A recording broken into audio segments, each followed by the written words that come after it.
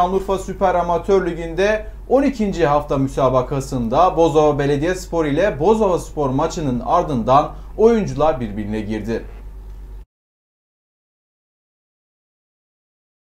Şanlıurfa Süper Amatör Ligi'nde 12. hafta müsabakaları oynandı. 12. haftanın en önemli müsabakalarından biri lider Bozova Belediyespor ile Bozova Spor arasında oynandı. İlçenin iki takımı da soğuk havaya rağmen güzel bir mücadele çıkardı.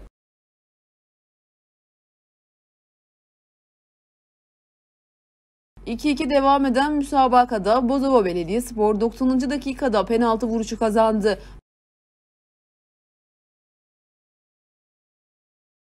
Belediyespor'un penaltıyı gole çevirmesiyle maçın skoru belirlenmiş oldu.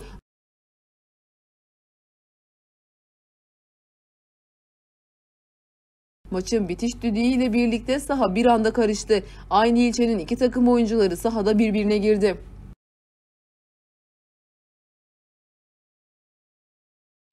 Olaylar sonucu 3 kişi kırmızı kart görerek oyundan atıldı. Polis ekipleri saha içerisinde ve çevresinde geniş güvenlik önlemleri aldı.